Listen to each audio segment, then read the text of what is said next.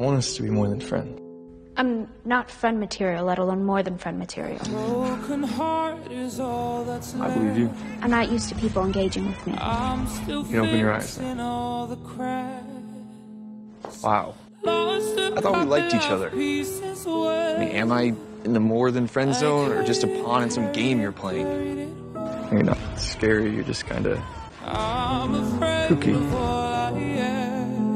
You look. A classic example of female objectification for the male gaze. I mean it, Wednesday. You look beautiful. I prefer spooky. Yeah, I may have done a little digging on you after we met. I'd do it again. I knew there was a reason I liked you. What does it feel like What does what feel like? to lose? I did a terrible thing, but I swear I'm not a terrible person.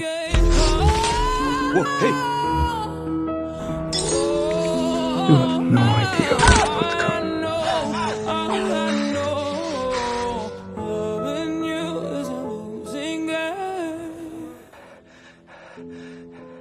You okay?